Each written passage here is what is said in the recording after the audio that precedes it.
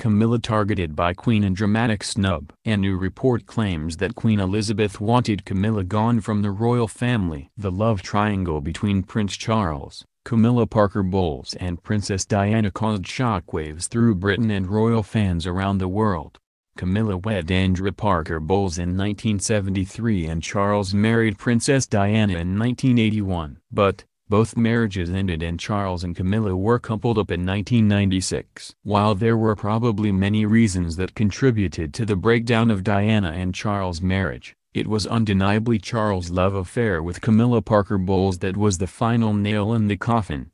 Now a royal expert says that Her Majesty wanted Camilla one before Diana's tragic death in 1997. Penny Junor wrote in the Daily Mail in 2017, the Queen had wanted her gone before Diana's death and felt no differently after it. Her private secretary, Sir Robert Fellowes, who was also Diana's brother-in-law, strongly reinforced her view. Junor says that it was nothing personal. It was nothing personal. She had been very fond of Camilla in all the years she had been married to Andrew Parker Bowles, but it was Camilla who had been responsible, wittingly or not, for all the disasters that had befallen Charles since his marriage. Express Co. UK maintains that the Queen refused to even acknowledge Charles and Camilla's relationship until they formally met in 2000.